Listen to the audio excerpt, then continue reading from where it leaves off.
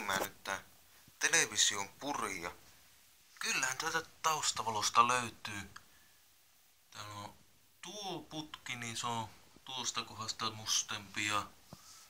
tuolla sitten on kans yksi putki, joka on vähän tummempi. Täällä piirilevyissä ei nyt näy mitään erikoisempaa, mutta mä vielä mittaan, että jokainen noista putkista saa tuota kunnon kontaktin tuohon, että kun ne vähän ei näytä tuota putkien päät miltään puhtaammalta, mutta onhan siellä kyllä voltti, että kyllä se pitäisi siitä läpi hypätä.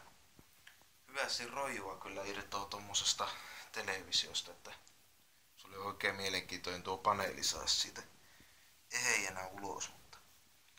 niin, niin mä mietin, että, että mä rupiaa, se on postit aika hyvät tuota, jos rupiaa